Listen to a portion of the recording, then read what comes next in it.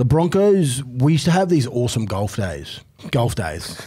Basically, just big piss ups after preseason's finished, and it's all sponsored. So, sponsor holes, you know, there's lovely ladies at some holes and, and whatnot. But this one, um, I think it might have been Pelican Waters in the Sunshine Coast, where I think it's just been done up there. Um, and there used to be a hotel literally right on the course.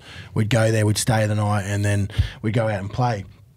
This is like another one of those stories where uh, we went to the races that time and people got hurt. Uh, people got hurt. Yeah, people got hurt. So, who would have thought you could go put a whole group of uh, top thirty footy players on a golf course before while preseason's finished and everyone wouldn't come out okay?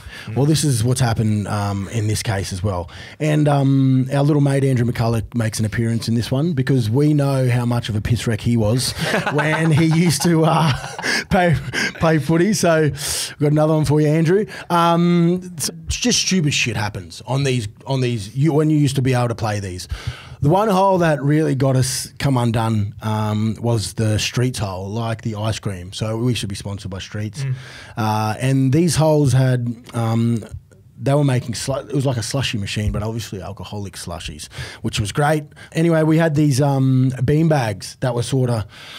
You know that uh, it's not like leather; it's like fake leather. Yeah, yeah, those bean yeah. bags. So really weird. Anyway, the boys thought it'd be all right to um, muck around in this certain hole, um, and fair few of those bean bags. So one led to another. A lot of boys are hitting the bean, hitting each other with the bean bags, getting a bit aggressive.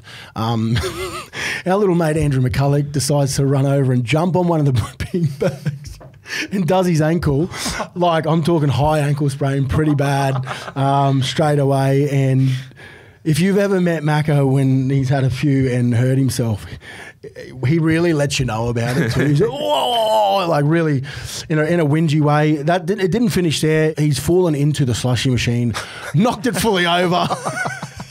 so there's not there's bird seed ev- everywhere. The cage is rattled. His cage is rattled.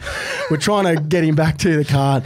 Um, and at the time, uh, Ivan Henjak's our coach and has seen what's happened, and we've had to divulge what's ha- uh, happened to us. He got sent back home um, early on that trip, on the bus trip, and um, we all stayed. But it just shows you um, when this one guy keeps commenting on all our posts, Andrew McCullough, and tells me not to talk about his stories. Well, let's just stop being a dickhead and it'll be fine, mate.